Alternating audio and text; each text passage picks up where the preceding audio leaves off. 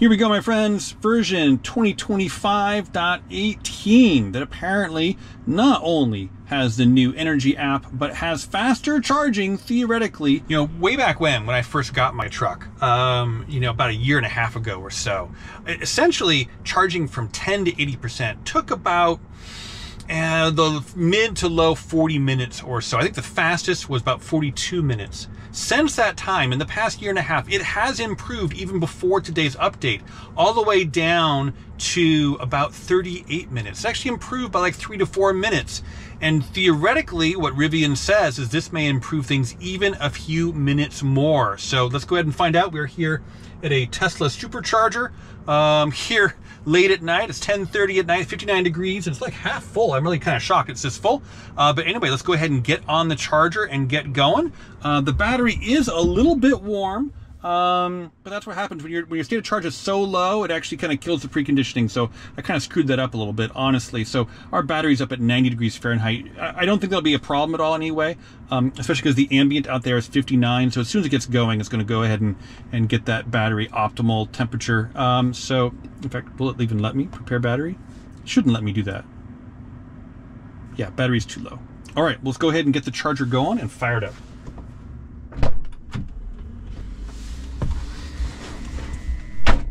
The guy beside us just finished, so that's excellent. We're starting. Got fastest handshake in the West, Tesla does. Um, all right, so this is a whole new like charging energy system. So let's go ahead and play with this a bit too. Um, active charge session. Graph, 71 kilowatts, 81 kilowatts. It's rocking and rolling. There we go. Then it shows actually, just tap on it if you want to switch to two, 127 kilowatts going on up. Ends in 53 minutes to go to 85% is how it's currently set.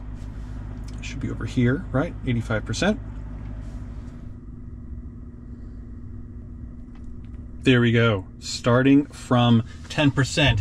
And uh, we can hear the AC kicking on pretty hard uh, as it goes ahead and cools. I can feel it humming through the brake pedal. You can see my you can see my foot in the video there. It is rocking along. We're still doing 205 kilowatts. Now previously on the Max Pack, somewhere here in the 20 to 30% range, basically it'll start derating. It'll come off this 200 kilowatt peak and start kind of doing its waffle around between, let's say 150 to 190 that would go all the way to like 70%. Um, we'll see how long we can hold on to 200 kilowatts. That would be cool if it hangs on longer. TBD. All right, here at like 33%, it seems like we just came off peak charge at 210 and we're starting to uh, gradually maybe come down slightly. Um, we have had when it ends come all the way down to 2319, which is like a good, is that like a five minute change from its first estimate? So that's cool to see. Uh, well, you want it to be precise, but having it come down is nicer than going up.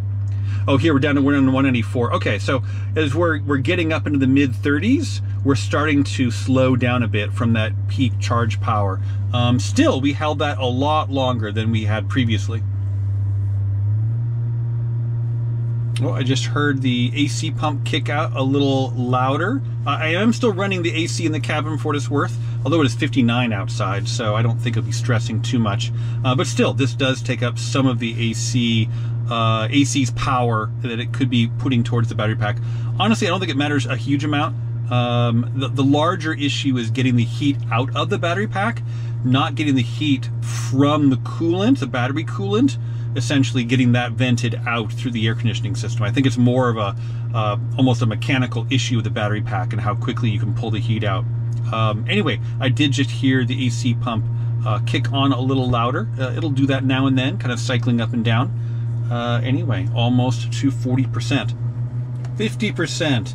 And we have only spent a handful of minutes under 190 kilowatts. Um, it has been flying this first half. 177 there at 57%. First time going under 180. We've got still just over 18 minutes left on the clock. So it has been basically just 20 minutes since we crossed the 10% mark and we're almost here to 60%. This is flying. This is absolutely on, well, not on fire. Let's not say that. Uh, it's uh, all right. We're just crossing 70%. Somewhere around here, 69, 70% used to be a substantial step, which I mean you can see it kind of tapering down a bit right here, right about 65% or so. Um, it's the curve starts dipping down substantially, um, but it's definitely a much smoother curve than the big step that used to happen. Uh, we're still doing 125 kilowatts. The AC is still screaming. The ends at time has stretched out, maybe by a minute or two from the low point that it saw at its peak. So maybe it is really kind of thermal throttling right now and doing the best it can. Um, but still feels like I mean, just just came back up a little more again, and uh, it is still what about 28 minutes from when we crossed 10%. Um, so uh, we still have 10 and a half minutes to get to the 38 minute mark. Uh, and we're almost all, you know, nine more percent and we'll be at 80. Oh, 99 kilowatt. We finally dipped below 100 for the first time here just before 79% and we are just ready to cross 80%. We still have four minutes and 23 seconds on the clock here.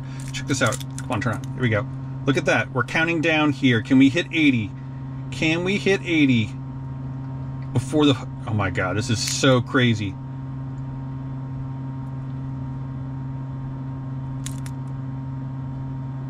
Come on, where's 80? Where's 80?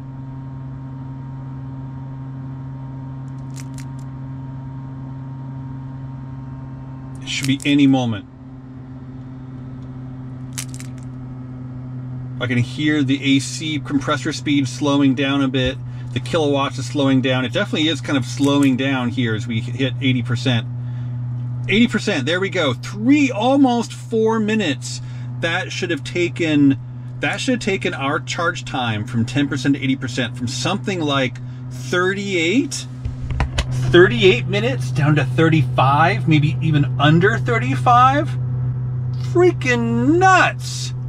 Buckle up, spreadsheet time. So as I mentioned, back in December 2023, I posted some videos talking about the charging curve of the new, at that time, Max Pack, trying to understand how the DC fast charging curve looks, how many miles you actually add within, because the Max Pack is bigger than the standard pack, right? And so you can look at it for time for percent, um, but realistically, if you're going to compare the two, you got to look at how many miles you're adding because the, the fat part of the curve on a max pack holds more miles, right? Anyway, I did a bunch of videos on that. My, my fastest charging time was actually when I got my first Tesla adapter and I went and tested that out right before our big trip to Texas. And um, it was 42.15 minutes, which seemed excellent and wonderful at the time. But then just recently, before this software update came out, I had a chance to go ahead and do some additional profiling and uh, kind of see how fast things are because software updates do change things. This is already a known thing. And at some point in the last year and a half, it went ahead and improved down to 38 minutes.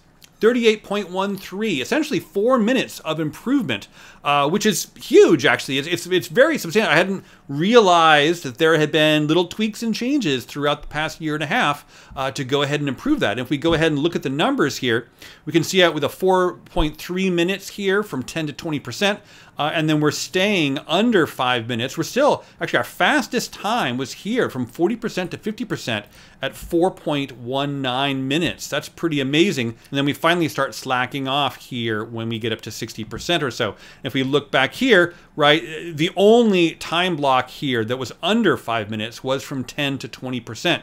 So significant improvement but of course, we just got 2025.18. Let's check it out. We dropped down to 34 and a third minutes. We've got two time blocks that are under four minutes. Look at that. That is amazing. From 30 to 40% and 40 to 50%, we're absolutely scorchingly fast.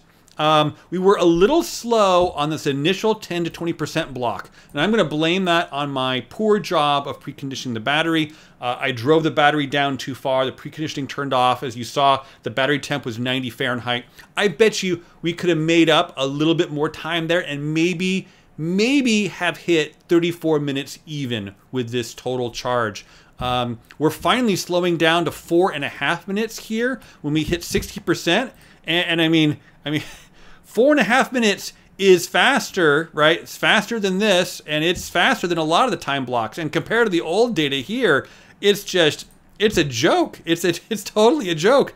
From 60 to 70%, that took just under six minutes. Uh, in the old days, right, we were getting that up here, right? In, in the fat part of the curve, we're, we're just it's blazing along. It's absolutely amazing. Let's go ahead and graph this here. The blue line is the 2025 18.1. The gold line is 2025 14.01. And the green line is way back when in 2023.42, back in the good old days. Uh, you can, again, you can see kind of a crossover here. Really, I think the blue line should have been as good, at least, as the gold line. Uh, I think that was, uh, again, my preconditioning mistake there. We could have made up a little more time. But then it just keeps on chugging, keeps on chugging, right to the 60% line. It is hauling ass. And then it finally starts slowing down here. Whereas, again, the gold line starts tapering off at 40%. Uh, and the, in the good old days, the, the green line here, I mean, it's basically almost a straight line until about 40%. Then it goes up slightly, and then it starts tapering. Uh, and it's that was a joke. That was a joke. So if we look at the actual numbers here, uh, we saved 4.03 minutes from the oldest data to before the update.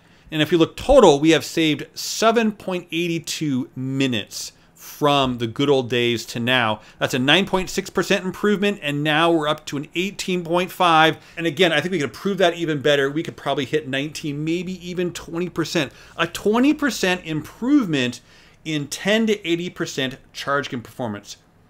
That is awesome. Congratulations to the Rivian software team. Uh, this new update is absolutely fabulous. Um, cannot wait to go on a road trip. In fact, we've got a couple of planned. We're doing a blitz down to LA actually next weekend to go to the graduation of my sister from nursing school. Congratulations, Sharon. And then the weekend after that, we're going to head out to Death Valley. So subscribe, like, all that kind of good stuff. Stay tuned. Thank you for watching.